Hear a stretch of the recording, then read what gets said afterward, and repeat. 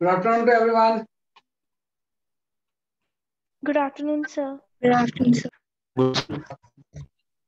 Good evening sir good evening ठीक है तो आज जो है ना आज थर्मल प्रॉपर्टीज़ ऑफ़ मैटर जो है ना हम कंप्लीट करेंगे। है ना? Will complete the chapter thermal properties of matter है ना? कल से नया चैप्टर स्टार्ट होगा। That is your kinetic theory of gases है ना? तो आज थर्मल प्रॉपर्टीज़ ऑफ़ मैटर की ना लास्ट क्लास है। ठीक है? तो ए, एक चीज़ है ना बीच में आप लोग थोड़ा सा ना केवीपीवाई का डिस्कशन कर रहे थे। थोड़ा सा मैं एक्सप्लेन कर देता हूँ रिगार्डिंग केवीपीवाई बहुत लोग इंटरेस्टेड होते हैं। आई डोंट नो कितने लोगों ने फॉर्म भरा है नहीं भरा है। कुछ क्लासेस भी अरेंज हो रही हैं आपकी। आ, लेकिन मेरे हिसाब से जो लास्ट ईयर कई ईयर में मैंने लिखा है ना भाई केवीपीवाई में क्या चीज़ें आपको करनी चाहिए? है ना? भाई केवीपीवाई अगर हम बात करें है ना? तो उसमें क्या चीज़ें आप करोगे? तो आपके सक्सेस के चांसेस बढ़ जाते हैं। थोड़ा सा टफ एग्ज़ाम होता है क्वेश्चन उतने टफ नहीं आते हैं, लेकिन कई बार सिलेक्शन थोड़ा सा मुश्किल होता है। लेकिन ठीक से पढ़ेंगे तो हो भी जाता है। जो किशोर वैज्ञानिक प्रोत्साहन योजना है केवीपीवाई और इस बार यू आर लकी इनफ कि आपका एग्ज़ाम जो है ये लेट हो रहा है अदरवाइज़ तो नवंबर में एग्ज़ाम हो जाता है। नवंबर में जब होता था तो हम नॉर्मली इलेवेंथ के स्टूडेंट्स को ना उतना ज़्यादा मोटिवेट नहीं करते थे इसको देने के लिए। क्योंकि नवंबर तक बहुत ज़्यादा सिलेबस कुछ होता ही नहीं था। तो सर मेरे ख्याल से लेट होने वाला है तो दे सकते हो आप लोग सब। तो जो के वाई एग्ज़ाम है, देखो इसमें तीन चीज़ों का ध्यान रखना कि जो आपका सिलेबस है एग्ज़ाम में जो सिलेबस आपका इलेवेंथ का है, इसकी तो आपको चिंता करने की ज़रूरत ही नहीं है। इलेवेंथ के जो भी चैप्टर्स इसमें दिए हैं, वो आप सब कंप्लीट हो जाएँगे। मेनली ज़्यादातर हीट वगैरह के क्वेश्चन इसमें ज़्यादा क्वेश्चन आते पहले, है ना? तो इलेवेंथ का सिलेबस जो है ना, ये तो आपका कंप्लीट हो जाएगा। तो इसके लिए तो कोई एक्स्ट्रा एफर्ट की ज़रूरत ही नहीं। Eleventh syllabus will be completed तो इसके लिए कोई एक्स्ट्रा एफर्ट करने की ज़रूरत नहीं। है ना? कि जो इलेवेंथ के चैप्टर्स हैं, वो आपका जब तक एग्ज़ाम होगा, तब तक सारे चैप्टर आप पढ़ चुके हो। और इतने हाई लेवल पे हम पढ़ते हैं ना तो के वी वाई उसमें वो क्वेश्चन जो आएँगे, वो आपको आसानी रहेंगे। बहुत मुश्किल रहेंगे। इलेवेंथ का सिलेबस लेकिन क्या होता है ना इसमें कुछ ट्वेल्थ का भी सिलेबस आता है। जब आप अपनी इलेवेंथ वाला स्ट्रीम आई डोंट नो कौन सा होता है एस बी एस एक्स आप चेक करो कौन सा होता है वो इलेवेंथ क्लास के सर ऐसे हाँ हाँ ऐसे है ना? तो वो जब आप चेक करोगे ना तो उसका सिलेबस भी जब आप देखोगे तो उसमें कुछ ट्वेल्थ का भी सिलेबस होता है। कुछ सिलेबस कौन सा होगा? जैसे कि आपका ट्वेल्थ सिलेबस भी होगा। है ना? तो ये थोड़ी सी आपको एफर्ट्स करने पड़ते तो इसके लिए सिंपल चीज़ है कि जो ट्वेल्थ का सिलेबस है ना, उसमें आप सबसे पहले तो आप आप अपने टेंथ के चैप्टर्स रिवाइज करिए हाँ क्योंकि ट्वेल्थ का सिलेबस ऑलमोस्ट टेंथ जैसा ही तो इसमें पहला जो स्टेप होता है revise right tenth class chapter tenth में जो आपके चैप्टर थे ना लाइक इलेक्ट्रिसिटी मैग्नेटिज्म ये सारा आप रिवाइज करिए और उसके अलावा we can study the S C one है ना? एस सी वर्मा के वॉल्यूम टू इससे आप कर सकते S C Verma volume two है ना? उसमें आप ये जो भी चैप्टर्स आपके सिलेबस में ट्वेल्थ के होंगे ना मैग्नेटिज्म है तो मैग्नेटिज्म इससे पढ़ लिया, आसान से बुक होती है, समझ में भी आ जाता है तो बहुत मुश्किल नहीं है। अगर उसमें इलेक्ट्रोस्टैटिक्स है तो इलेक्ट्रोस्टैटिक्स पढ़ लिया इलेक्ट्रिसिटी है तो इलेक्ट्रिसिटी पढ़ लिया तो पहले रिवाइज टेंथ के चैप्टर को रिवाइज कर लेना, ताकि थोड़ा सा आपका फाउंडेशन क्योंकि वो बोलते हैं ना कि टेंथ का आएगा, लेकिन आता है टेंथ का नहीं एक्चुअली वो ट्वेल्थ का ही आता है। और एस सी वर्मा की वॉल्यूम टू कर लो। इलेवेंथ के बारे में किसी एक्स्ट्रा एफर्ट्स की ज़रूरत नहीं आती ट्वेल्थ के सिलेबस में टेंथ के चैप्टर रिवाइज करके आप एस सी वर्मा का वॉल्यूम टू पढ़ और प्लस इन दोनों के लिए आप प्रीवियस ईयर्स के पेपर सॉल्व है ना? Solve previous year paper sir आप जो भी प्रीवियस ईयर्स के आपके पेपर्स होंगे ना बेसिकली वो आपके बुकलेट के फॉर्म में मिल जाते हैं कि भाई लास्ट टेन ईयर्स में या ट्वेंटी ईयर्स में केवीपीवाई में क्या है तो उस पर एज अ टेस्ट दिया करो। Solve previous year papers as a test है एज टेस्ट जो भी टाइम स्लॉट है, ये सब कंप्लीट करने के बाद ना, फिर इसके ऊपर आ जाओ और जो भी प्रीवियस ईयर के पेपर उस पर टेस्ट देना शुरू करो। तो ये अगर आप प्रैक्टिस करोगे ना तो अपने आप आपको उसके दिन पड़े और ये अगर करोगे तो से बात है, आपके आई की प्रिपरेशन में फ़ायदा तो होगा ही। आई की प्रिपरेशन में भी यही चीज़ें होती है। सिलेबस तो ऑलमोस्ट दोनों का डिफरेंट नहीं है ना? तो ये आपको प्रोग्राम फॉलो तो बीच में आप ग्रुप में डिस्कस कर रहे थे मैंने थोड़ा थोड़ा सा आपको एक्सप्लेन कर है ना? इस साल आपके पास ठीक है, क्योंकि लेट हो रहा है ना, उससे काफ़ी फ़ायदा होगा। है ना? अदरवाइज़ तो ट्वेल्थ में ज़्यादा देना अच्छा होता है। अदरवाइज़ तो ट्वेल्थ में इसको देना ज़्यादा बेनिफिशियल होता है, लेकिन इस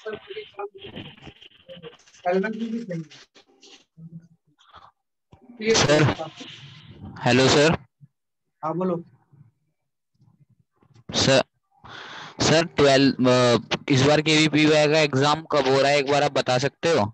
मैंने देखी नहीं अभी notification thirty first Jan. Thirty first Jan को हो रहा है। है ना? तो सर अगले साल ज़्यादा? यस सर हम ट्वेल्थ में थे वो ज़्यादा ठीक रहेगा या फिर अभी इलेवेंथ में ही? अगर अभी आपके पास डेट बची हुई तो अप्लाई कर दो। Okay sir. Twenty fifth last date है। आज ही है? यस सर थर्टी है थर्टी है थर्टी है। हाँ? अच्छा चलो कोई नहीं देख लो। अगर कर पाते तो कर लो नहीं तो कोई बात नहीं फिर अगले साल देना जिन्होंने नहीं दिया कोई बात नहीं जो नहीं अपियर कर पा रहे हैं not they will appear in 12 है? ना जो लेकिन इन्होंने फॉर्म भर दिया वो अपना कर लो इससे सर इसके बेनिफिट्स क्या है? बेनिफिट्स इसमें स्कॉलरशिप स्कॉलरशिप मिलती है। गवर्नमेंट की स्कॉलरशिप मिलती है और बहुत सारे कॉलेज में इसके बेसिस पे एडमिशन भी होते हैं।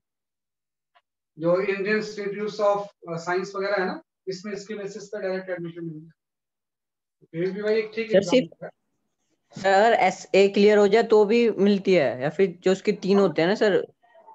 नहीं नहीं नहीं, नहीं कि कोई भी एक क्वालिफाई कर बाकी मुझे बहुत ज़्यादा इसका डिटेल नहीं है वो तो आप वेबसाइट पे देखोगे तो किया है ना तो मेरे ख्याल से उसके बेसिस पे स्कॉलरशिप मिलती है और कुछ एडमिशंस भी होते है ना कुछ एडमिशंस भी सर आपने अभी कौन से कॉलेज का नाम लिया था जिसमें इसके बेसिस पे एडमिशन होता है इंडियन इंस्टीट्यूट ऑफ़ साइंस जो है बैंगलोर में और भी हैं आईआईएसटी आईआईएससी आईआईएससी तो आप बाकी आप इसको वहाँ पे जो है ना आप वेबसाइट सर्च करना, आपको सब कुछ मिलेगा कहाँ कहाँ से असाइनमेंट है? ना? क्योंकि इस बार तो पेंडेमिक था तो मुझे भी एक्चुअली ये सब चीज़ें इतना ज़्यादा याद नहीं थी, कब हो रहा है, कैसे हो रहा है। अदरवाइज़ तो जब सेंटर में बच्चे विज़िट करते हैं ना तो रेगुलर फिर ये इंटरेक्शन है। इस बार सब एग्ज़ाम ऐसे डिले हो रहे थे ना एडवांस डिले हो गया नीट डिले हो गया तो इसमें पता ही चला कि कब कौन सा एग्ज़ाम चल है। ना? तो उसके बीच में भी आ गया। तो आप लोग देखते रहा करो तो इस साल दे देते हो, कोई बात नहीं है। ये तो नेक्स्ट ईयर ज़रूर दे है ना कि ट्वेल्थ में भी देके आप उसको जो पर्पज आज आप अचीव कर सकते हो ट्वेल्थ तो सर दोनों साल दे सकते हैं। हाँ दोनों साल दे सकते हो। इस साल दोगे अगले साल भी दे सकते हो। दोनों साल दे सकते आप इस साल अटेम्प्ट करते हो अगर इस साल नहीं होता तो नेक्स्ट ईयर अटेम्प्ट करते हो। दोनों ही नहीं तो कई बार स्टूडेंट जो है मुझे याद है बाद में एक स्टूडेंट था मेरे पास कानून सराय में। तो वो उसने ट्वेल्थ में इलेवेंथ में क्वालिफाई कर लिया। बाद में वो यूएस वगैरह चला गया आई टी मतलब आईटी में एडमिशन ही नहीं लिया उसने। आईटी की प्रिपरेशन ही, शायद प्रिपरेशन एडमिशन नहीं लेके यूएस में ले लिया। किस कॉलेज में लिया आई डोंट नो एमआईटी में लिया होगा। अगर कोई आईटी छोड़ के जा रहा है तो एम आई टी में एडमिशन लेता हूँ। ये सब एग्ज़ाम थोड़े से प्रेस्टीज वाली चीज़ होती है। केवीपीवाई हो गया फिजिक्स ओलंपियाड हो गया। ये आपके उसमें लगता है ना प्रोफ़ाइल में? केवीपीवाई क्वालिफाइड फिजिक्स ओलंपियाड में क्वालिफाइड किस लेवल में? नेशनल लेवल रीजनल लेवल है ना? तो ये सब चीज़ों की अभी उतनी इम्पोर्टेंस नहीं होगी। लेकिन जब आपका वो रिज्यूम वगैरह बनता है ना, जैसे फॉरेन यूनिवर्सिटीज के लिए तो they definitely look for this foreign university में इन सबका बहुत वेटेज होता है। वो काफ़ी इन सब चीज़ों में इंटरेस्ट ये सब चीज़ों पर जो भी चीज़ें ओलंपियाड्स वगैरह देते रहना है ना, कि फिजिक्स ओलंपियाड है है ना? तो ये सब चीज़ें अटेम्प्ट करते रहना चाहिए, लेकिन मेन फोकस वही, ये सब चीज़ें जो हैं, वो सप्लीमेंट्री चीज़ें मेन फोकस है आईआईटी में एडमिशन हाँ आईआईटी को अपना वही चीज़ है, ये सब चीज़ें एडेड एडवांटेज अगर हो जाए तो ठीक है। तो ये जस्ट मैंने थोड़ा सा एक्सप्लेन कर दिया। इस पर फोकस करो, है ना? अपने आप सब चीज़ें आपको। और ये ज़रूर करना, बाद में एज ए टेस्ट देना। प्रीवियस ईयर्स के पेपर को जो भी टाइम प्लॉट लगता है उसी जैसे घर पे बैठ के कर हाँ, ये understand. सर है। बायोलॉजी भी आती है इसमें? बायो भी आती है बायो भी आती है। बायो भी आती है टेंथ लेवल टेंथ लेवल की बायोलॉजी में है। ना? टेंथ क्लास के लेवल की लेकिन बोलते हो ज़रूर टेंथ क्लास के लेवल की है। लेकिन बायो तो स्टूडेंट कर ही लेते हैं कभी कोई स्टूडेंट ऐसा नहीं आया मेरे पास जिसने बायो नहीं की तो बायो वगैरह अटेंड कर लेते हैं। थोड़े से फिजिक्स वगैरह मुश्किल आती है। इस बार तो इंटरव्यू भी नहीं होगा। हाँ इस बार तो इंटरव्यू नहीं होगा और फ़ायदा है। नहीं? इंटरव्यू में कब क्या क्वेश्चन कोई पूछे कोई भरोसा है? नहीं Yes, इंटरव्यू बड़ी खतरनाक है। ना इंटरव्यू फेस करना और एग्ज़ाम देना बहुत इंटरली डिफरेंट इंटरव्यू में बड़े खतरनाक खतरनाक क्वेश्चन पूछ लेते हैं लोग। कभी भी कुछ भी पूछ लिया। है ना कहीं से भी उठाते तो तुम बहुत नॉलेजेबल लोग होते हैं ना साइंटिस्ट होते हैं तो भी पूछ सकते हैं। कहीं इंटरव्यू नहीं है तो बहुत अच्छा है। रिटर्न के बेसिस पे ही हो गया। चलो, है ना? जस्ट मैंने थोड़ा सा इसमें। तो अपने पाथ को आप एकदम इसी के अकॉर्डिंग चलना है। किसी स्टूडेंट ने कॉल किया था? मैंने बोला, सभी को कराते हैं। इंडिविजुअली तो मैसेज दे दिया। चलो तो आज जो आपको करना है ना, आज आपको थर्मल प्रॉपर्टीज़ ऑफ़ मैटर को वाइंड अप करना है। ना? कि हमने जो चैप्टर पढ़ा है थर्मल प्रॉपर्टीज़ ऑफ़ मैटर है ना? इसी चीज़ को आपको करना है है ना? अभी तक हमने अलग अलग पढ़ रहे थे ना कैलोरीमेट्री अलग से थर्मल एक्सपेंशन अलग से और आपका हीट ट्रांसफ़र अलग से। अब इसी को नॉर्मली हम आ, सारी चीज़ों को एक साथ ही डिस्कस करते हैं। है ना? तो one by one I will give the questions और उसको आप अटेंड करना उसका आंसर करना। फिर मैं आपको बताऊँगा कि कैसे इसको करते हैं सॉल्व एक्सक्यूज मी सर ये वीडियो के रिकॉर्डिंग भेज दोगे सर हाँ रिकॉर्डिंग बेटा रिकॉर्डिंग तो ग्रुप में जाती ही है। आप लोग ये क्वेश्चन पूछते क्यों? भेजना कहाँ होता है? जो डाउट्स ग्रुप में होते हैं ना उस डाउट्स ग्रुप में रिकॉर्डिंग रहती है। लेकिन आ, मतलब रिकॉर्डिंग का उतना नहीं होता है। आ, क्लास ही ज़्यादा बेटर रहती है। क्लास में आपका पार्टिसिपेशन होता है ना। पार्टिसिपेशन इज़ बेटर देन है देख लो जैसा भी अगर कुछ टेक्निकल फॉल्ट नहीं है तो always class is the better option है. सर आपकी वीडियो थोड़ी अनक्लियर है आज। क्लियर आ रही है? अभी ठीक हो जाएगी। ठीक आ रही है सर। अभी ठीक हो जाएगी। चलो आई विल एक्सप्लेन मैं वन बाय वन क्वेश्चन दे रहा हूँ उसको थोड़ा सा अप्लाई करो। है ना? थर्मल प्रॉपर्टीज़ ऑफ़ मैटर में सबसे पहले हम आ जाते हैं कैलोरी मीटर जो सबसे पहले आपने पढ़ा था।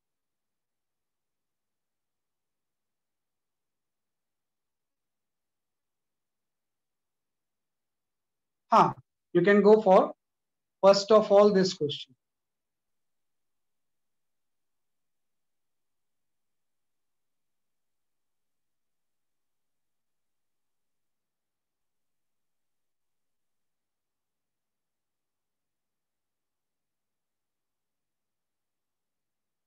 you can go for this question क्या आपका देखो? इसका आंसर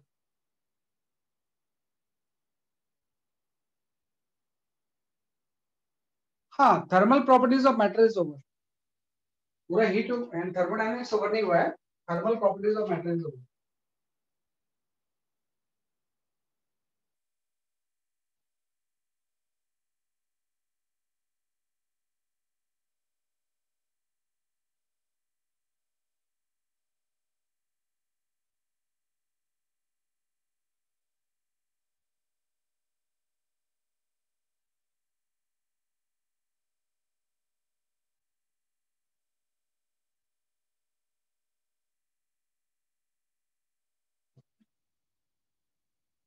आज थोड़ा सा एडवांस लेवल के क्वेश्चंस ये तो एडवांस लेवल का नहीं है, लेकिन एडवांस लेवल के क्वेश्चन सॉल्व करेंगे। थर्मल प्रॉपर्टीज़ ऑफ़ मैटर ये क्वेश्चन तो आसान है।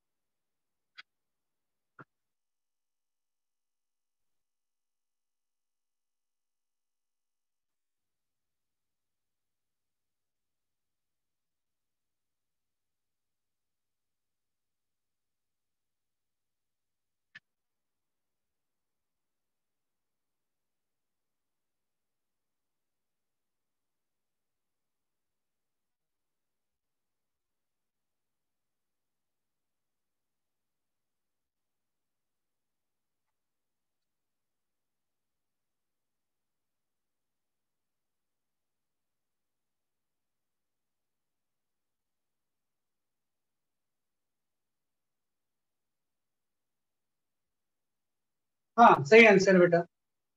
है ना? आंसर इज़ करेक्ट काफ़ी लोगों ने सही आंसर दिया इसका। तो प्रियांशु, आदित्य, साक्षी मिश्रा, पीयूष शाह, मनस्वी, भव्या, सुहाना यू और आंसर करेक्ट है ना? सबके आंसर सही है।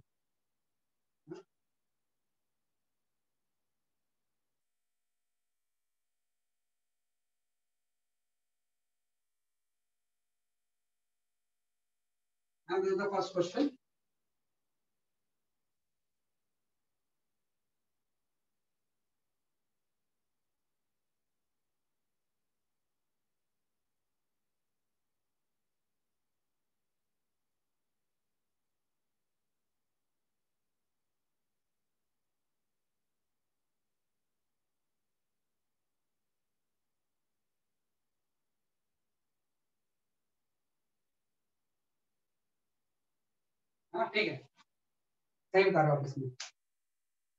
हाँ है। इसका जो आंसर है, काफ़ी लोगों का सही है Vani your answer is correct है ना? ये Vani your answer is correct Honey your answer is correct Anirudh and आपके सही आंसर है। ठीक है, चलो, मैं विल एक्सप्लेन दिस क्वेश्चन है ना, एकदम आसान सा क्वेश्चन है। है ना, इसने बोला कि भाई कोई टम्बलर था, इसमें कोई वाटर वगैरह नहीं, बल्कि सिर्फ़ कोई वेसल है, इसमें 10 ग्राम आइस हम ज़ीरो डिग्री सेल्सियस पे कोट कर देते हैं। ये जो टम्बलर है या कंटेनर है, इसका टेम्परेचर 40 डिग्री सेल्सियस है ना? और इसका वाटर इक्विवेलेंट 55 ग्राम मतलब इस वेसल की जगह पे हम क्या मान सकते हैं? 55 ग्राम वाटर है ना? तो हम यहाँ पे अवेलेबल हीट निकाल लेंगे। ये जो अवेलेबल हीट होगी, अगर 55 ग्राम वाटर का टेम्परेचर 40 से ज़ीरो हो जाए, ये तो हीट अवेलेबल होती है। टम्बलर का टेम्परेचर डाउन होगा और 40 से जब ज़ीरो हो जाएगा तो ये हीट कुछ रिलीज़ करेगा। है ना? अवेलेबल हीट होगी तो अवेलेबल हीट की वैल्यू यहाँ पे आ गई आपकी। है ना? यहाँ पे अवेलेबल हीट जो आ गया, वो 2200 कैलोरी है। है ना? और अब ऐसा होता है कि रिक्वायर्ड हीट निकाल लेते हैं। कि आइस को मेल्ट करने के लिए कितनी हीट चाहिए? तो 10 ग्राम आइस था लेटेंट हीट एट्टी होता है। तो टेम्परेचर तो ज़ीरो ही है। तो इसको जो रिक्वायर्ड हीट चाहिए, वो 800 कैलोरी चाहिए। है ना? तो जो बैलेंस हीट है, आपको पता है, वो आ जाएगी आपकी बैलेंस शीट आपकी आ जाएगी उसके आपकी 1400 कैलोरी ये क्या करेगी? पूरे के टेम्परेचर को बढ़ाएगी। आइस ज़ीरो पे मेल्ट हो गया 40 से ज़ीरो पे आ गया। अब जो भी चीज़ होगा उसके टेम्परेचर को ये बढ़ाएगी। कितने ten gram ice ten gram water में कन्वर्ट हो गया, उसके टेम्परेचर को बढ़ाएगी। प्लस ये जो कंटेनर होगा, उसका भी तो टेम्परेचर बढ़ेगा। तो कंटेनर का इक्वलेंट 55 ग्राम प्लस 55 ग्राम है ना? इनटू स्पेसिफिक हम वन ले लेंगे। और फाइनल टेम्परेचर इसका ज़ीरो से टी हो तो यहाँ से टी की वैल्यू जो आएगी, वो 22 degree Celsius option B is the correct इसका जो ऑप्शन बी है, वो आपका सही है। तो इस तरह से हम कर सकते हैं। है ना? कि ऑप्शन बी जो है that is the correct answer इसका ऑप्शन बी जो है, ये आपका सही आंसर है। ना? कि ऑप्शन बी जो है, वो आपका सही है। तो इस तरह से हम इसको सॉल्व कर सकते हैं।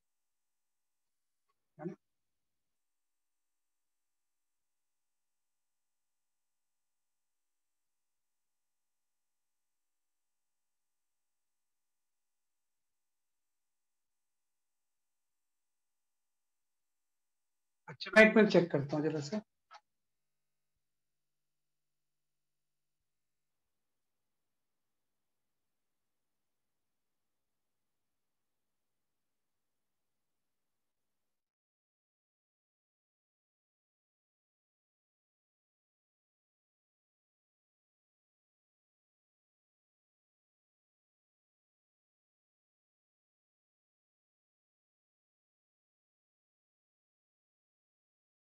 नेक्स्ट क्वेश्चन पे आते हैं हम।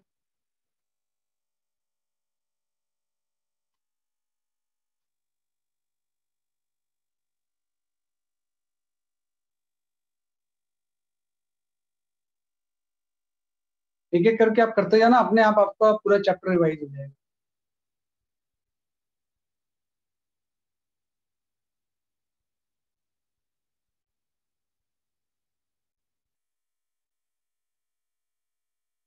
ये आपका आइस और स्टीम का कॉम्बिनेशन है।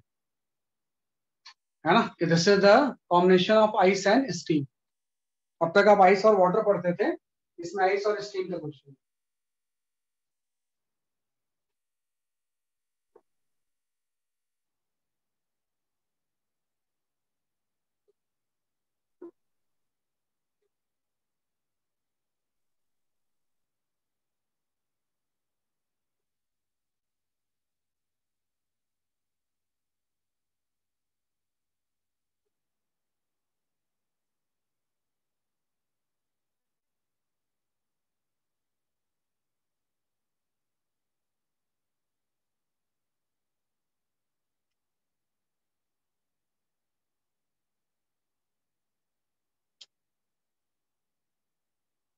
नेक्स्ट वीक में डाउट्स क्लास भी है थर्सडे के दिन लगेगी थर्सडे को डाउट्स क्लास होगी आपकी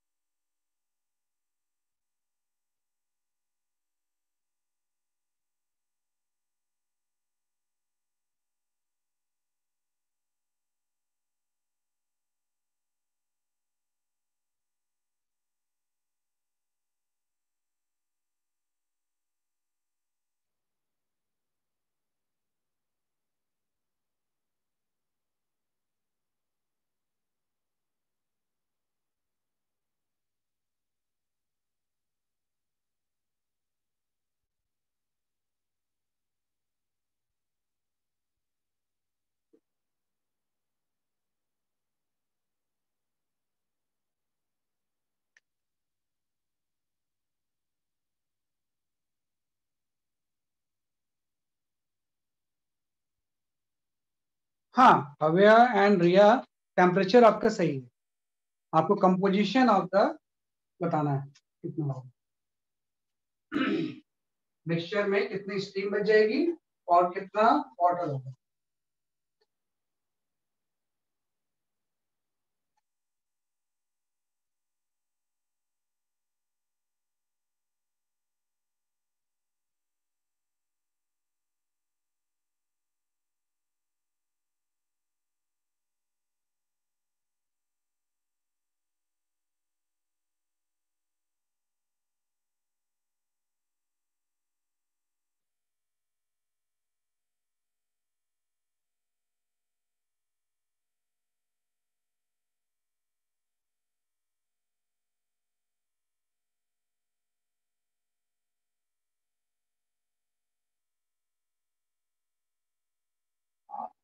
दर्ज specific heat of steam is not required उसकी ज़रूरत नहीं पड़ेगी।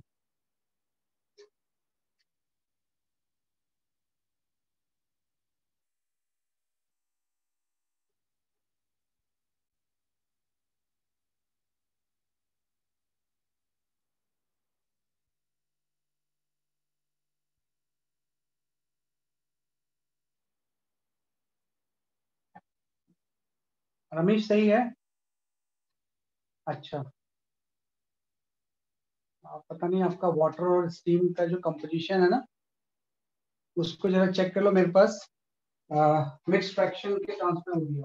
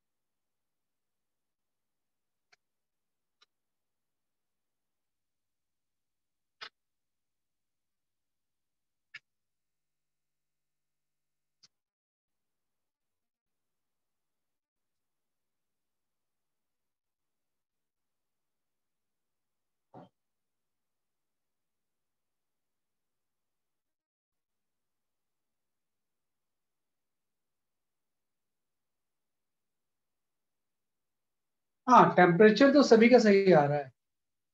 हाँ रमेश मेरे ख्याल से ये आंसर सही है आपका। आदित्य जोशी, निहाल रावत, आपका टेम्परेचर सही आ रहा है। चलो मैं एक्सप्लेन करता हूँ जरा से इस क्वेश्चन को, है ना? वेट फॉर अ मोमेंट मैं एक्सप्लेन करता हूँ। देखो, इस तरह क्वेश्चन हम कैसे सॉल्व करते हैं, जिसमें स्टीम एंड वाटर होता है। तो जो वाटर एंड आइस वाले क्वेश्चन हैं, ये तो आपने बहुत किए हैं तो ये आप सॉल्व कर लेते हो। मैंने एक क्लास इसलिए रखी हुई है ना, कि जो भी कॉन्सेप्ट जो छोटा मोटा छूट गया है, वो ज़रूर से आप कर लीजिए है ना? ये हमने इस तरह से हम इसको किस तरह से सॉल्व इसको देखो क्या इसमें ये दिया हुआ था कि कोई कंटेनर है, इसका वाटर इक्विवेलेंट 13 ग्राम और इसमें 5 ग्राम आइस रखते हुए ज़ीरो डिग्री सेल्सियस तो ये जो कंटेनर है, इसका भी temperature zero degree Celsius ice और कंटेनर का सेमी टेम्परेचर इसमें हम 10 ग्राम स्टीम मिक्स करते हैं 100 डिग्री सेल्सियस तो इसने बोला कि फाइनल इक्विलिब्रियम टेम्परेचर कितना होगा?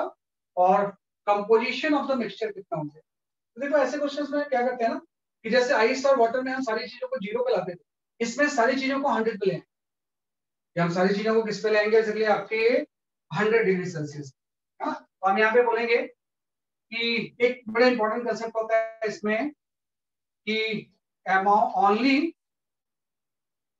that much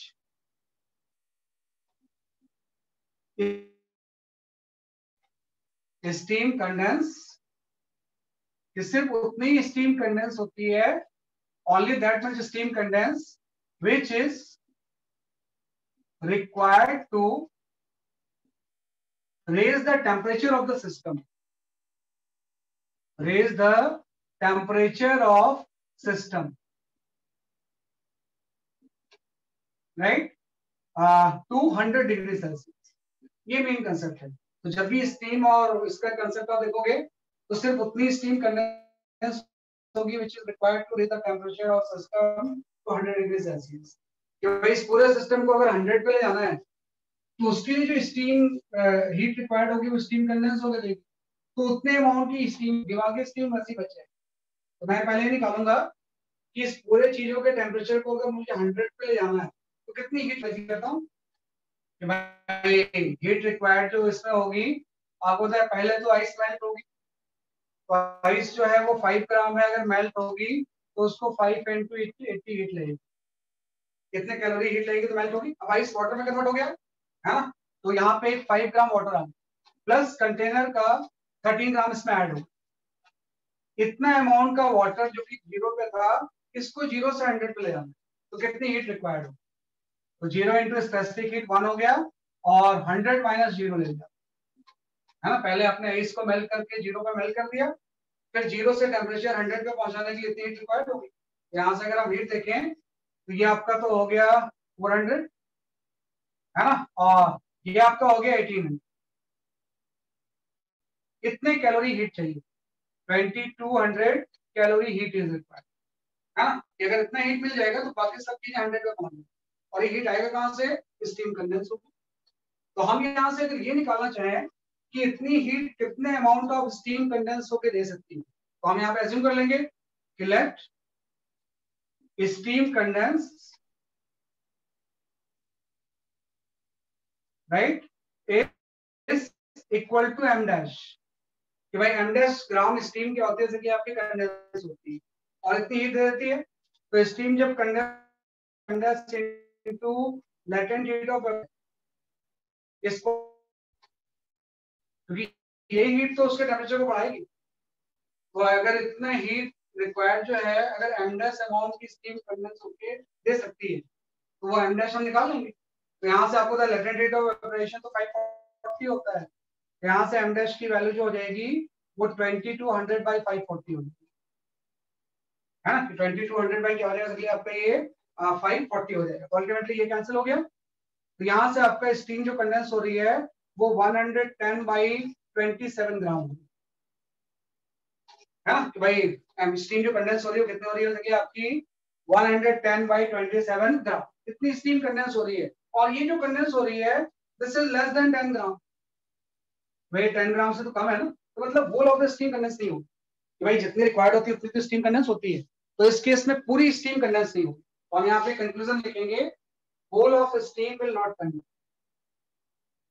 whole stream not condense whole of the steam जो होगी, वो कंडेंस नहीं हो अगर whole of the steam condense नहीं हो रही है सिस्टम में 100 डिग्री सेल्सियस पे बाकी चीज़ें और स्टीम उसकी कंडेंस है पूरी स्टीम कंडेंस नहीं हो रही है। मतलब फाइनल इक्विलिब्रियम टेम्परेचर जो होगा, वो 100 डिग्री सेल्सियस जस्ट हम यहाँ बोलेंगे final equilibrium temperature right will be 100 degree Celsius इसका जो फाइनल इक्विलिब्रियम टेम्परेचर है आपका 100 डिग्री सेल्सियस तो फाइनल इक्विलिब्रियम टेम्परेचर तो 100 आ गया। अब इसने बोला है कि अगर पूरी स्टीम कंडेंस नहीं हो रही है, सिर्फ़ इतनी हो रही है तो अब मिक्सचर का कंपोजिशन क्या हो तो मिक्सचर में कितना वाटर कितना स्टीम होगा? तो हम लिखेंगे सबसे पहले कि मिक्सचर में कितना स्टीम होगा। तो स्टीम आपका जो होगा वो 10 ग्राम तो था है ना? उस 10 ग्राम से कितने अमाउंट का कंडेंस हो 110 बाई 27 ग्राम क्या हो गया? कंडेंस हो तो आपका जो स्टीम मिक्सचर में बच जाएगा। आप चेक करो। ये जो मिक्सचर में आपका स्टीम बच जाएगा आपका, है ना? वो आपका हो जाएगा 160 sixty by twenty seven gram. है यहाँ से सॉल्व करेंगे तो ये कितना हो जाएगा? 160 sixty by twenty seven gram. और जो स्टीम कंडेंस हुआ है वो वाटर में तो कन्वर्ट हुआ है। तो इस मिक्सचर में जो वाटर होगा वाटर पहले तो फाइव ग्राम ही था तो ये वाटर इक्वलेंट है। तो ये कंटेनर है ना तो वाटर तो एक्चुअली फाइव ग्राम आईसी होगा। यहाँ पे फाइव और जो ये स्टीम कंडेंस हुआ है, वो इसमें ऐड हो जाएगा ट्वेंटी सेवन है तो इसको आप सॉल्व कर लोगे। तो इससे जो आपका वाटर जो होगा मिक्सचर में, है ना, उसका अमाउंट जो आ रहा है इस केस में, वो आपका आ रहा है 247 बाई 245 बाई 27 है ना यहाँ से जो आंसर आ रहा है आपका ये आपका 245 बाई 27 तो ये आपका फाइनल आंसर इस क्वेश्चन पूरे फाइनल आंसर ये आ गया कि फाइनल इक्विलिब्रियम टेम्परेचर 100 होगा। स्टीम इतनी होगी वाटर इतना हाँ तो ये थोड़ा सा ध्यान ये इसमें ये लाइन बड़ी इंपॉर्टेंट है। कि उतनी स्टीम कंडेंस होती है जो कि सिस्टम के टेम्परेचर को 100 पे लेते 100 पे ले। सर यहाँ पे अवेलेबल हीट अवेलेबल हीट है जो स्टीम कंडेंस के हीट दे रही है। वो अवेलेबल हीट है। तो इसमें उल्टा हम करते हैं। पहले हम रिक्वायर्ड हीट निकाल लेते हैं, फिर उसके अकॉर्डिंग उसी रिक्वायर्ड को अवेलेबल से इक्वल करते हैं। अवेलेबल हीट है, अगर पूरी स्टीम कंडेंस हो जाए तो जो हीट रिलीज़ करेगी वो अवेलेबल हीट फिर उसकी ज़रूरत नहीं पड़ती। पहले हम रिक्वायर्ड निकाल लेते हैं और उतनी स्टीम कंडेंस होगी जितनी की उसको उस रिक्वायरमेंट को full sir water equivalent add क्यों नहीं करा? बेटा वाटर इक्विवेलेंट होता है वाटर थोड़ी होता है वो। वो तो कंटेनर ही होता है ना उसका वाटर इक्विवेलेंट होता है। इसमें तो वाटर में वो ऐड थोड़ी हो जाएगा। वो तो हम ये बोलते हैं इसका अमाउंट का इक्विवेलेंट इतना होगा।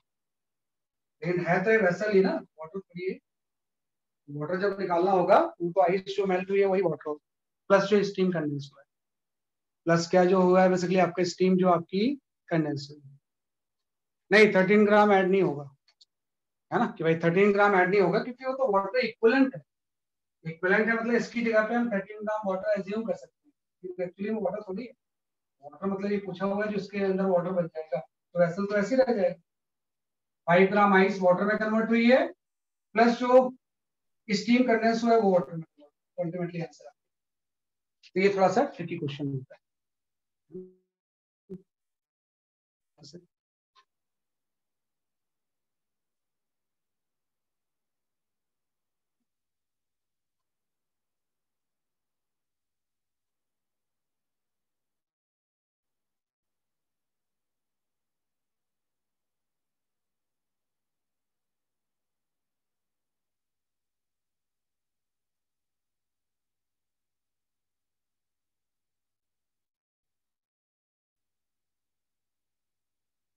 है ना I will show the question wait for a moment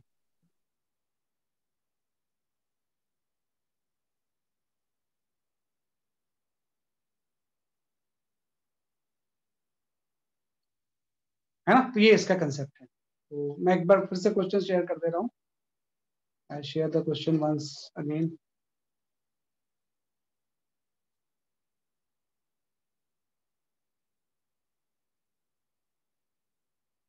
है ना, आपका जो क्वेश्चन था वो ये था।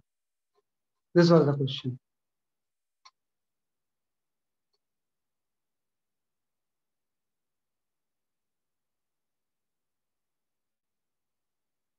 ये आपका चलो नेक्स्ट क्वेश्चन पे आते हैं go for the next question है ना? नेक्स्ट क्वेश्चन भी कैलोरीमीटर का ही ले लेते हैं। आज इसको फाइनल कर देना इस चैप्टर को हमने। सर, इसमें सबको ज़ीरो डिग्री पे लाके नहीं कर सकते। नहीं बेटा एक तरीका होता है ना चीज़ का। स्टीम को ज़ीरो पे क्यों लाओगे आप? एक्चुअली आइस मेल्ट होती है तो उसका ज़ीरो ले लेते हैं। इसका करने का तरीका वो है। सबको ज़ीरो पे नहीं लाते इसमें है ना, इसका मेथड यही है कि सबको हंड्रेड पे ला के solve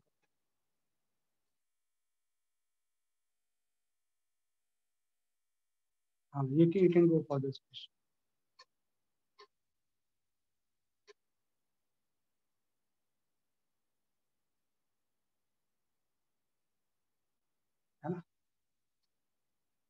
you can go for this question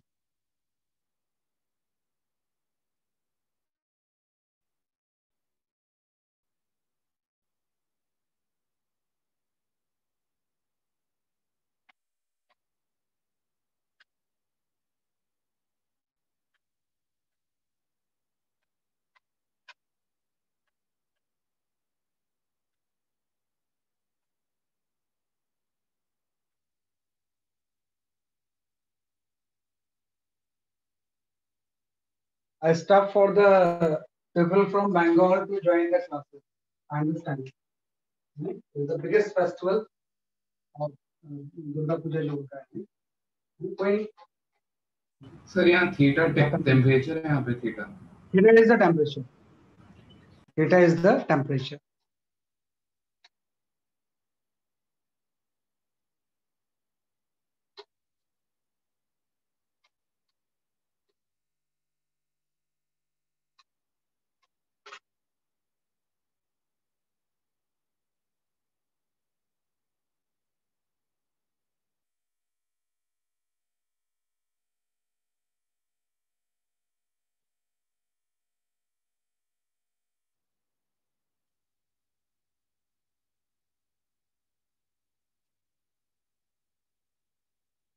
Temperature is variable.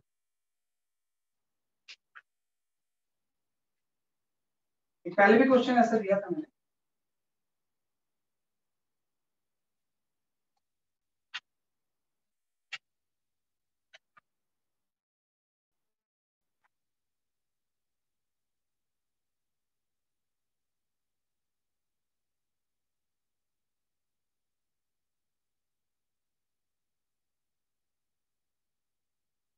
Question number three, this is.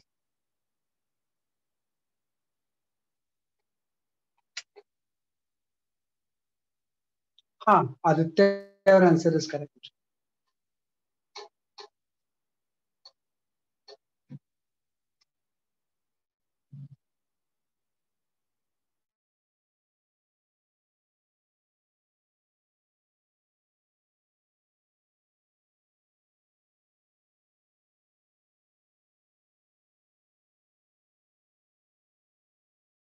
तो सही लिखा है आपने।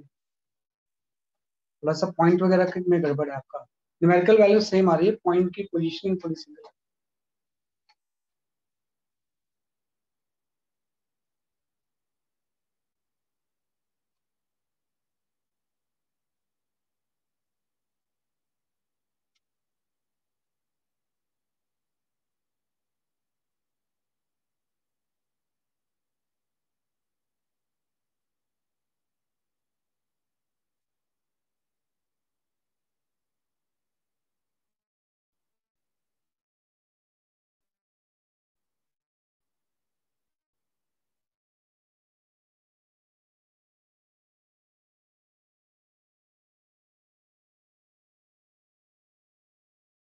मैं समझ गया क्या गड़बड़ हो रही है।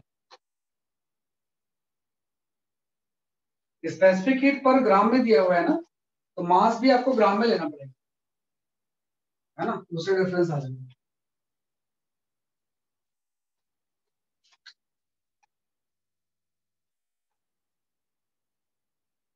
जो स्पेसिफिक हीट की यूनिट होती है, उसी टर्म्स में सारी चीज़ें होंगी। हाँ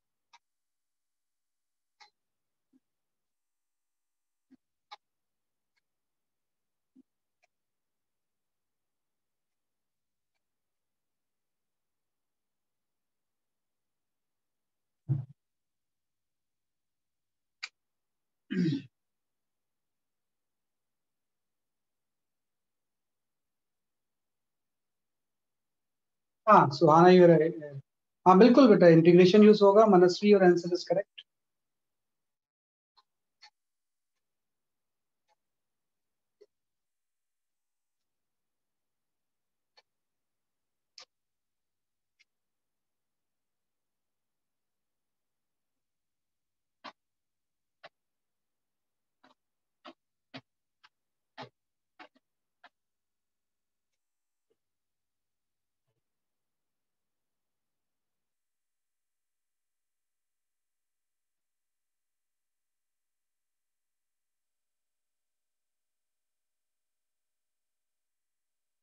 हाँ ध्रुव सही है।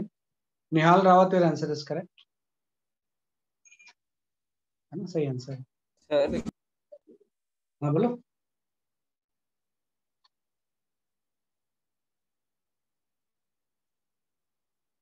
हाँ Bhavya now your answer is correct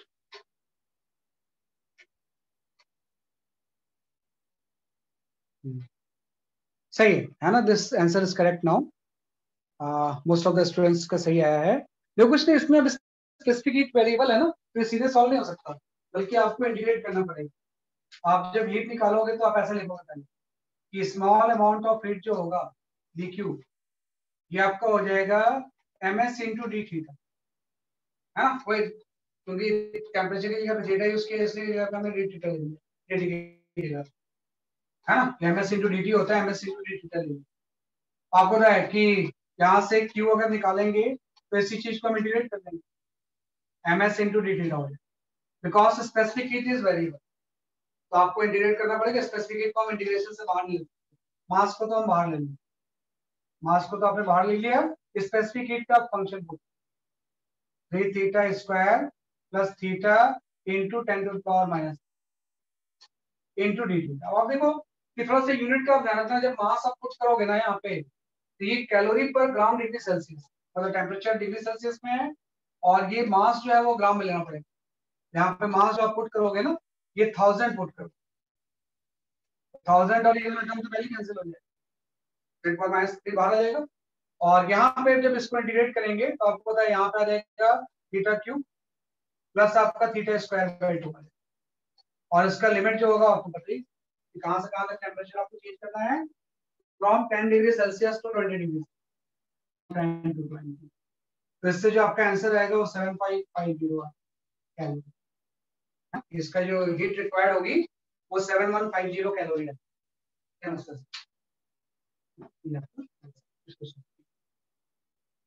specific heat variable जब भी होगा तो आप इंटीग्रेट करके कोई भी चीज़ वेरिएबल होगी in fact not necessary specific heat कभी भी कोई वेरिएबल का केस आता है तो उसमें हम इंटीग्रेशन ही करते हैं. We perform the integration. तो इंटीग्रेशन हम क्या करते हैं उस केस में? परफॉर्म करते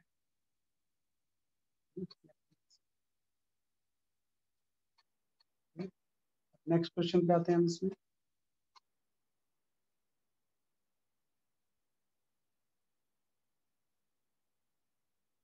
चलो, इसके बाद ये कर लिया हमने। कुछ क्वेश्चंस जो है ना, अभी मैं नहीं करवा रहा हूँ because it required the knowledge of fluid mechanics तो फ्लूइड मैकेनिक्स या इलास्टिसिटी के साथ में वो करवाऊँगा आपको मैं। इलास्टिसिटी और फ्लोट मैकेनिक्स जब चलेगा ना तो ये क्वेश्चंस मेरे पास रिज़र्व रखे हुए हैं। वो मैं उस टाइम करवाऊँगा आपको।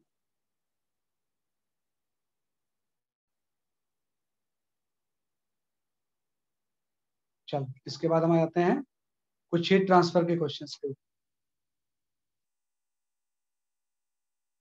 चलो, थोड़ा सा डिफरेंट क्वेश्चंस करते हैं। You can go for uh, this question.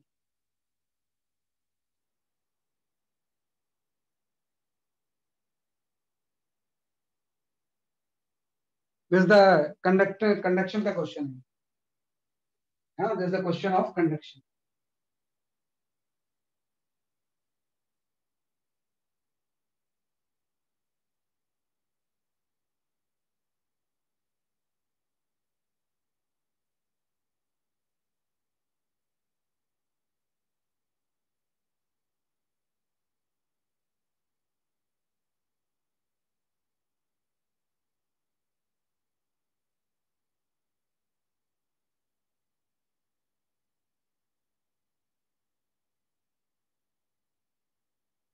Question number four.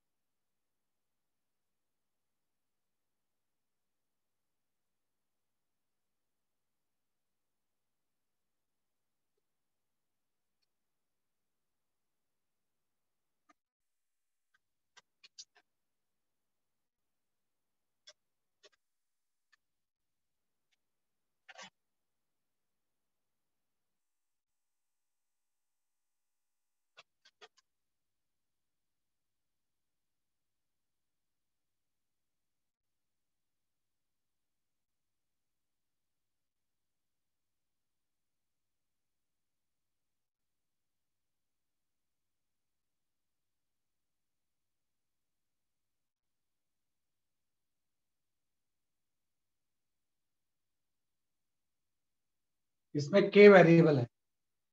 थोड़ा इंटीग्रेशन इसमें भी इन्वॉल्व हो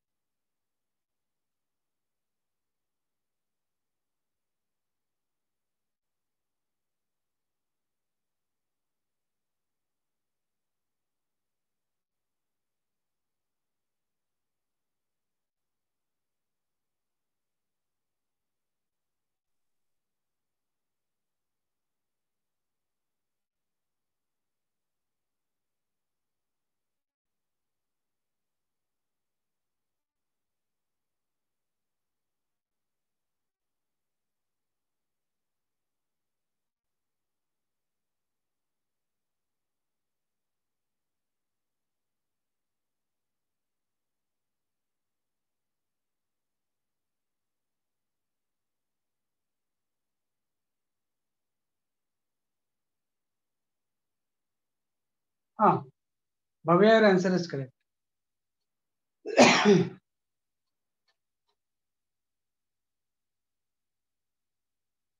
Riya your answer is correct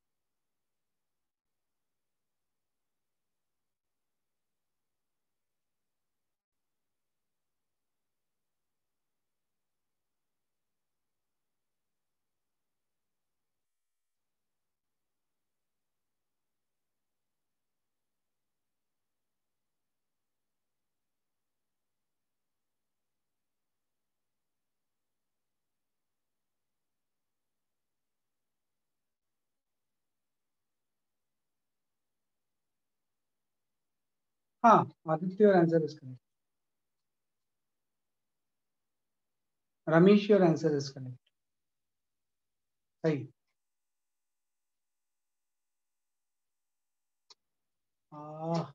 answer नहीं आ रहा हाँ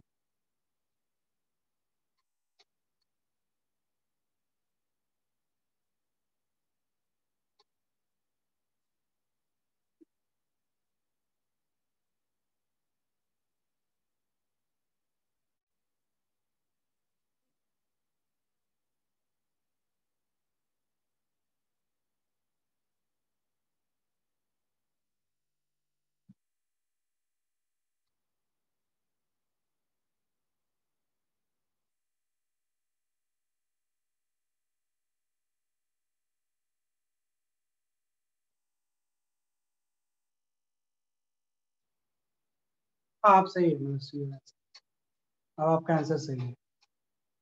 ठीक है आई एक्सप्लेन दिस क्वेश्चन है।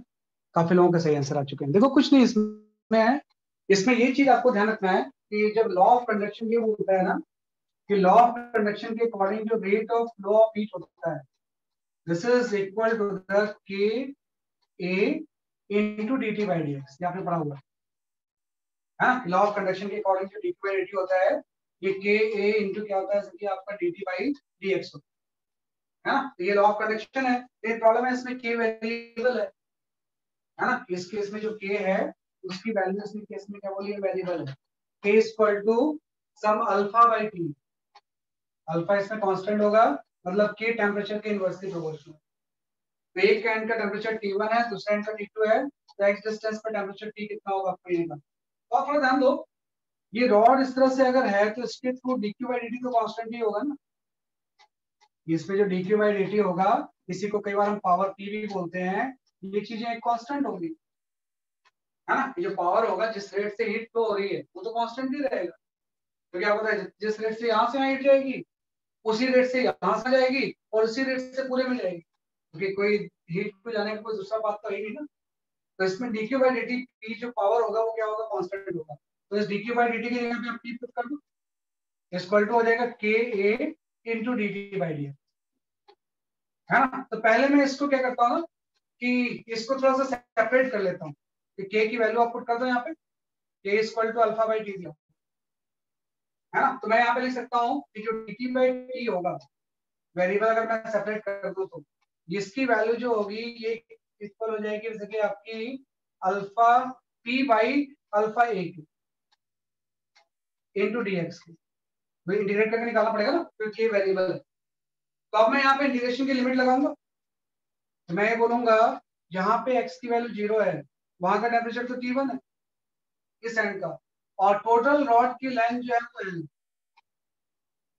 है ना? तो जब रॉड जहाँ पे x की वैल्यू L है, वहाँ का टेम्परेचर T2 है। तो इससे ना पावर की वैल्यू आ जाएगी, किस रेट से हीट हुई। यहाँ से फ़ायदा ही होगा कि किस रेट से हीट फ्लो हो रही है, वो हम निकाल लेंगे है तो अल्टीमेटली आपको तो इसको जब इंटीग्रेट करेंगे तो लॉग में आंसर आएगा। ये चीज़ आ जाएगी बेसिकली आपकी log of T two by T one और यहाँ से ये जो चीज़ आएगी, ये आपका आ जाएगा पी बाई अल्फ़ा ए है ना? और डीएक्स का आ जाएगा बेसिकली आपका एल आ जाएगा। इसका इंटीग्रेशन जो हो जाएगा, वो क्या जाएगा आपका एल आ जाएगा। तो पहले तो मैंने लगाया पूरे एंड पे। अब मैं टी वन और टी के बीच में लगा देता हूँ। सेम चीज़ को इंटीग्रेट कर जो दूसरा ले आएगा, यहाँ पे आपका आ जाएगा डी टी बाई टी है ना? इसको हम टी वन से टी तक इंटीग्रेट कर देते तो पी बाई अल्फ़ा ए तो सेम ही रहेगा, है कि भाई पी बाई अल्फ़ा ए की वैल्यू क्या रहेगी? इसकी आपकी सेम रहेगी, है ना? और इंटीग्रेशन की यहाँ लिमिट हो जाएगी ज़ीरो से एक्स तक ऑफ़ डी तो इसको जब हम सॉल्व करेंगे तो L N of T by T one आ जाएगा, और ये आपका रहेगा P by alpha A into X uh equation आपका पूरे रॉड के क्रॉस आ गया। इक्वेशन नंबर वन और एक रिलेशन आपका एक एंड से एक्स डिस्टेंस तक आ गया। इक्वेशन नंबर टू दोनों को आप डिवाइड कर दो तो जैसे मैं दोनों को डिवाइड करूँगा, यहाँ पे L N of T by T one जो होगा, भाई L N of T two by T one जो होगा टी बाई अल्फ़ा है तो कैंसिल हो जाएगा। ये चीज़ आएगी आपकी X by L K equal जब डिवाइड करेंगे दोनों को तो एक्स के इक्वल हो जाएगा। तो यहाँ से आपका स्पेसिफिकेशन आ जाएगा L N of T by T one equal to आ जाएगा X by L into L N of T two by T पता है, ये जो मल्टीप्लाई लॉग में है, ये इसकी पावर में जा सकता है ना? तो हम यहाँ पे लॉग एल एन ऑफ़ लिख सकते हैं T by T equal to आपका आ जाएगा L N of T two by T one ये जो पावर हो जाएगी वो आपकी एक्स बाई एल होगी. अब आपको पता है, दोनों तरफ़ लॉग लगा हुआ है तो दोनों तरफ़ लॉग को हटा सकते हैं। तो यहाँ से वो टी की वैल्यू आ जाएगी। तो टी की वैल्यू आ जाएगी T one into T two by T one into X तो आपका जो ऑप्शन सही होगा, ये ऑप्शन है ना? तो थोड़ा सा ये ऐसी क्वेश्चन एडवांस लेवल पे आएँगे। तो एडवांस में क्वेश्चन आएँगे इसके ऊपर। उसमें कहीं ना कहीं थोड़ा बहुत इंटीग्रेशन वगैरह इन्वॉल्व होता है। है ना? उसको थोड़ा सा कॉम्प्लिकेट करते हैं सिंपल थोड़ी आएगा। यहाँ जंक्शन का टेम्परेचर बताओ। है ना? वैसा नहीं आएगा। बिल्कुल थोड़ा सा उसमें कुछ ना कुछ ट्रिक इन्वॉल्व हो कैलकुलेशन इन्वॉल्व होगी, थोड़ा लेंथी होगी, है ना? तो इस तरह से हम कर सकते हैं लॉ तो सबके लिए सेम ही है तो उसको हम इस तरह से यूज़ कर तो we can apply this question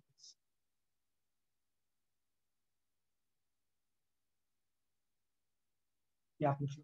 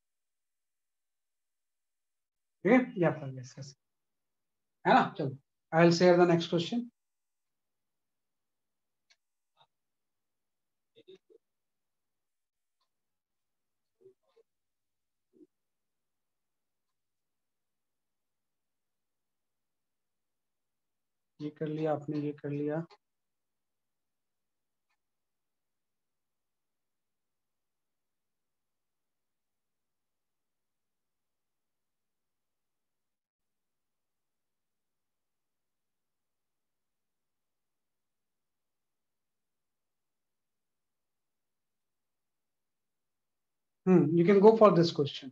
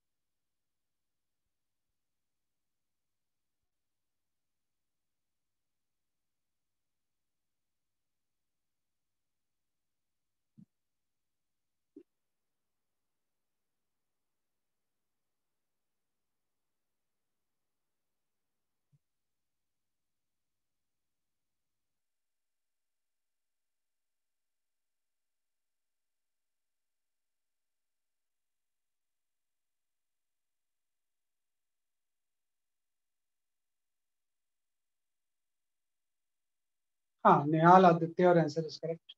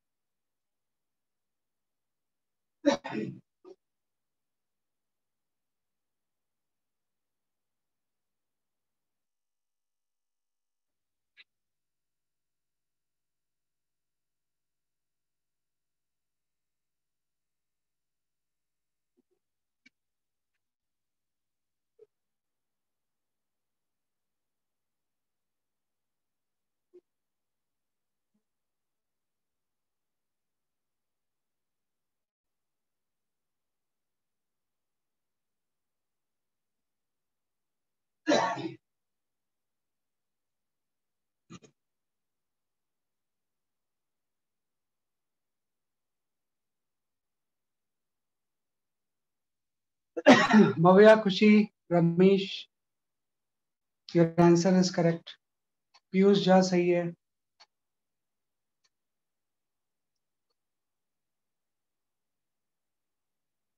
Kartikeya सही है ध्रुव सही है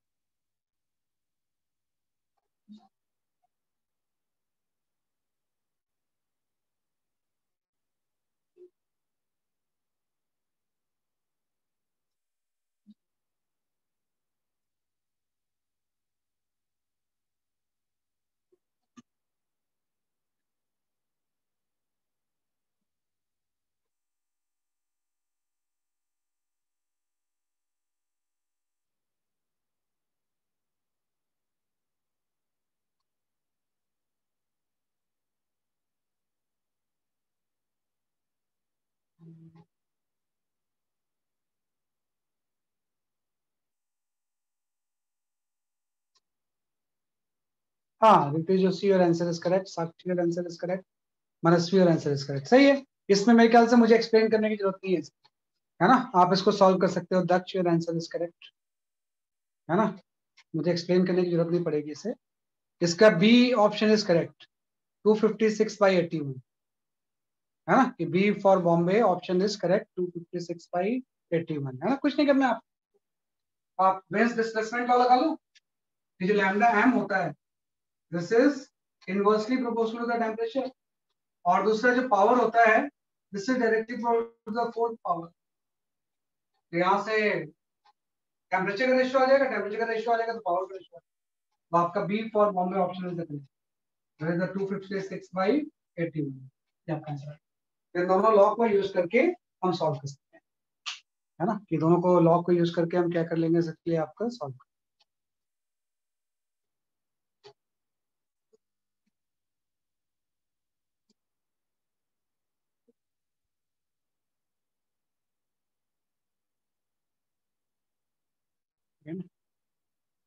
तो आपका नेक्स्ट क्वेश्चन करते हैं।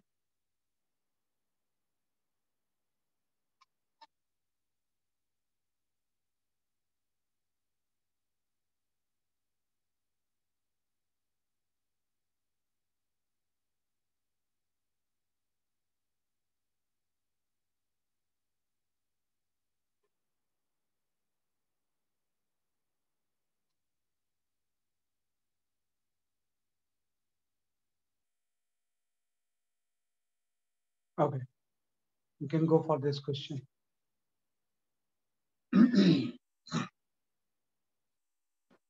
Sir, you have done it. hmm? Done it in last sir, we have चुके done this. So, अच्छा अच्छा लास्ट एक्चुअली मिक्स रहता है तो मैं कई बार याद नहीं रहता मुझे हाँ इसका रेशियो टू जो आता था नहीं टू इज़ टू वन आता था सही बात ये कर लिया आपने चलो ये कर सकते हैं।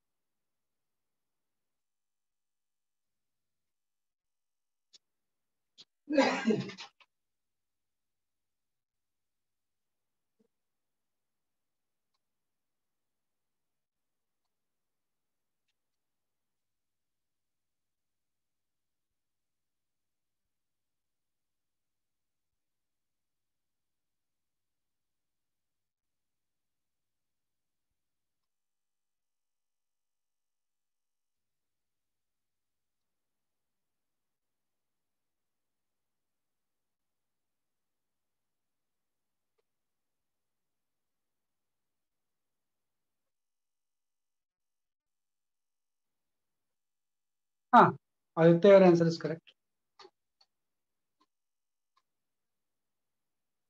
Saksham, your answer is correct.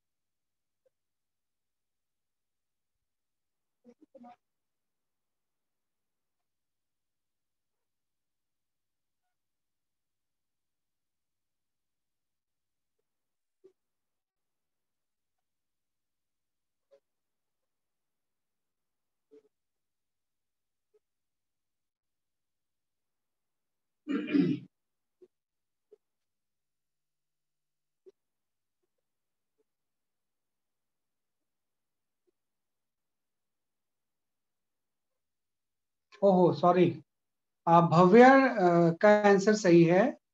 पहले मैंने जो आंसर बताए थे, वो गलत थे। पीयूष शायर आंसर इज़ करेक्ट है ना? वानी और आंसर इज़ करेक्ट मैंने आदित्य और सक्षम के पहले जो वेरीफाई किया था, वो सही नहीं है। बस उसमें वो डिफरेंस है, ऊपर नीचे वाला।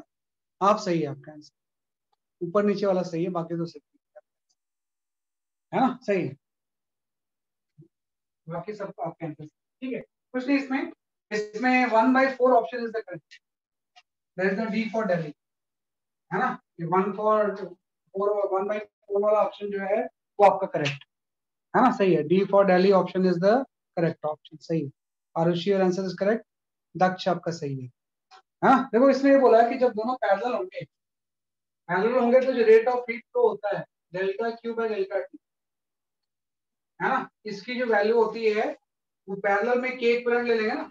पैरेलल में के इक्विवेलेंट के बाय 2 हो जाएगा into area into 100 minus 0 by length तो ब्लैक बोर्ड विजिबल नहीं है। अच्छा ठीक है सॉरी निकाल तो है नहीं। ये आपका गया है। ना कि भाई जब दोनों पैरेलल होंगे ये वाला केस पैरेलल का केस है ना तो आपका के की जगह पे तो के बाई टू हो जाएगा। है ना? और ये जो टेम्परेचर डिफरेंस है वो हंड्रेड माइनस ज़ीरो हो जाएगा। है ना टेम्परेचर डिफरेंस कितना हो जाएगा आपका हंड्रेड माइनस ज़ीरो और यहाँ पे लेंथ आपकी एल आ जाएगी। है ना हंड्रेड माइनस ज़ीरो बाई इसकी लेंथ कितनी होगी? आपकी एल ऐसे दोनों जब सीरीज़ में होंगे, है ना कि भाई सॉरी पैरेलल में इसमें टू के हो जाता है। ये उसका रेसिस्टेंस का उल्टा होता है। कि पैरेलल में दोनों ऐड हो जाएँगे कितना हो जाएगा? आपका टू के हो जाएगा। है ना और ये डेल्टा क्यू क्या करेगा? Q1 अमाउंट ऑफ़ आइस को मेल्ट कर दो। है? क्यू आइस तो सेम ही होगी। तो यही चीज़ को क्यू वन के इक्वल पुट कर। है, ये क्यू वन के इक्वल आ गया। ऐसी सेम चीज़ क्यू टू हम निकालेंगे, जो आपको ऊपर वाला केस है सीरीज़ वाला। तो यहाँ पे के की जगह पे के बाई टू हो जाए यहाँ पे एरिया ए आपका गया और ये आपका हो गया हंड्रेड माइनस ज़ीरो है? हंड्रेड माइनस ज़ीरो पे क्या हो गया? आपका एल आप ले लोगे। है? ना एल की जगह पे आप ट्वेल्व लेंगे है ना की जगह पे हम क्या लेंगे जैसे आपका ट्वेल्व लेंगे तो इसको सॉल्व कर लो है ना? तो इससे सॉल्व करके आपका आंसर आ जाएगा।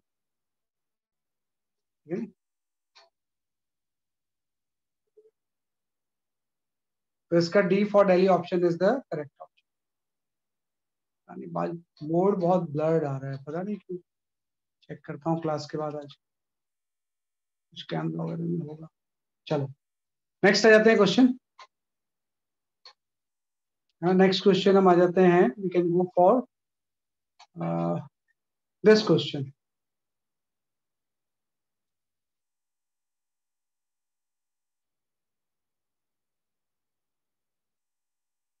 ये भी कर चुके हैं शायद। Yes. है ना? लिया कर लिया। पता नहीं क्वेश्चन बार बार क्यों आ जा रहा है।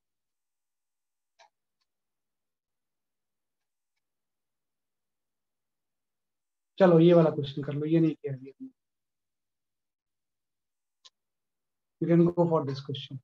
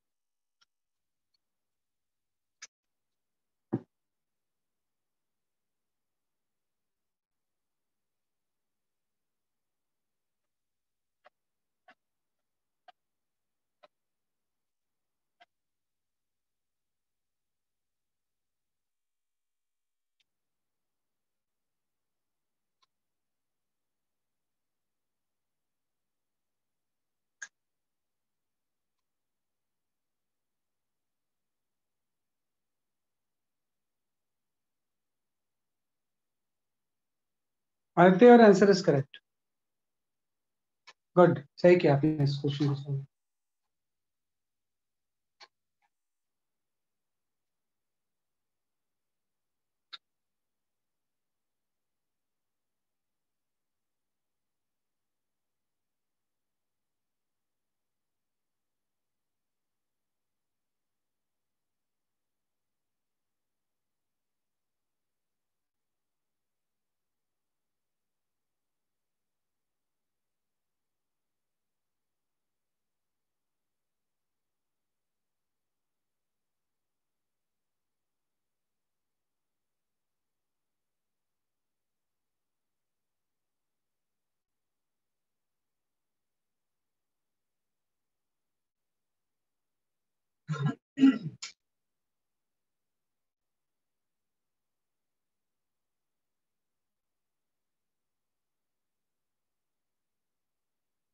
रिया गुप्ता का आंसर इसका?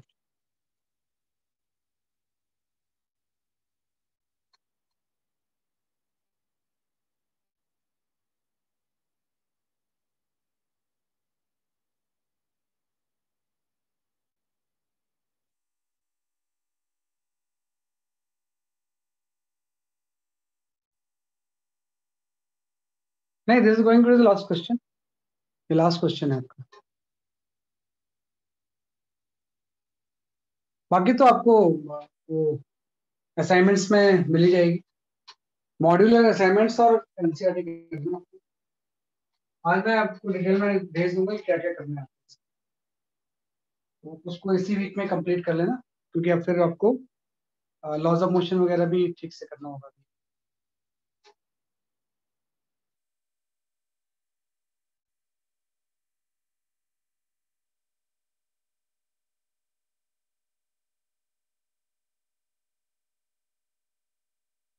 चलो, मैं एक्सप्लेन कर देता हूँ इसे, है ना, क्योंकि not much time is left है ना?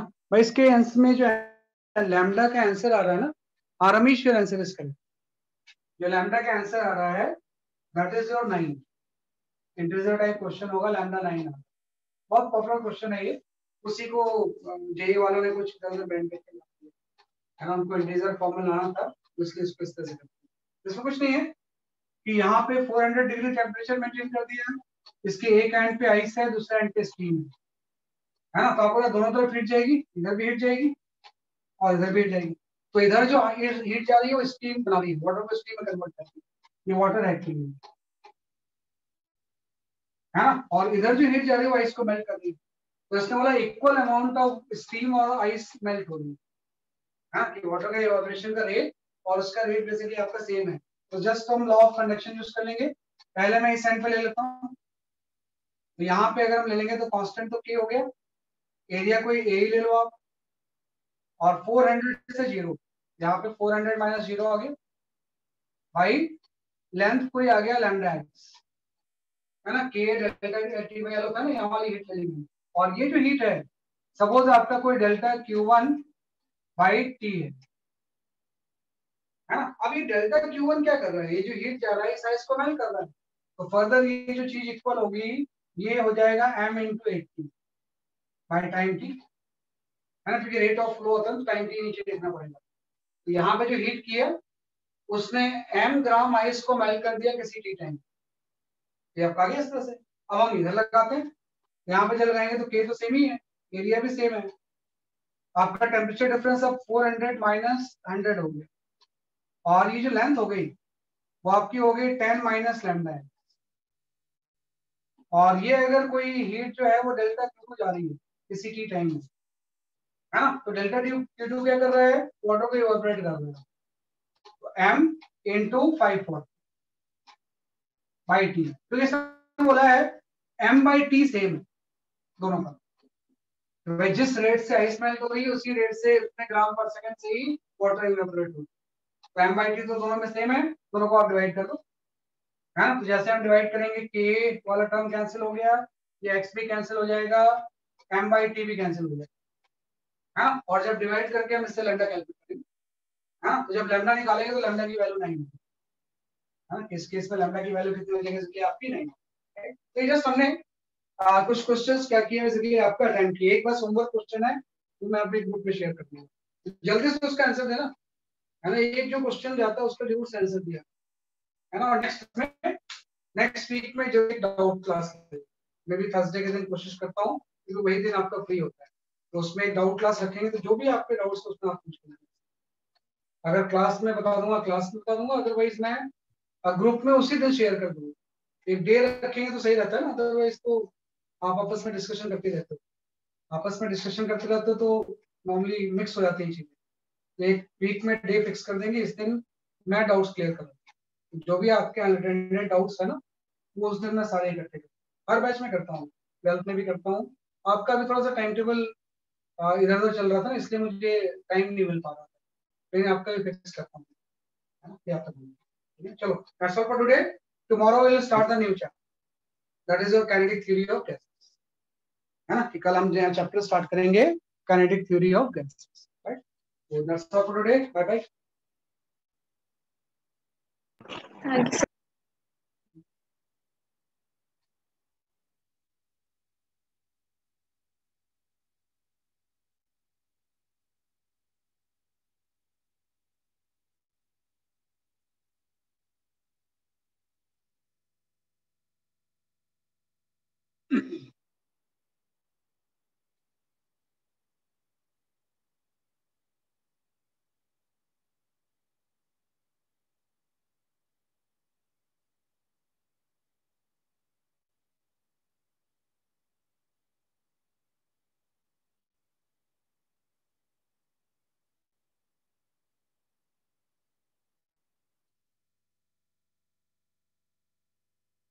Bhavya NCERT देख सकते हो आप। है ना, एक बार एनसीईआरटी देख लोगे तो उसमें काफ़ी कुछ मिल जाएगा। है ना एनसीईआरटी मिल जाएगा। है ना एनसीईआरटी ज़्यादा बेटर रहेगी।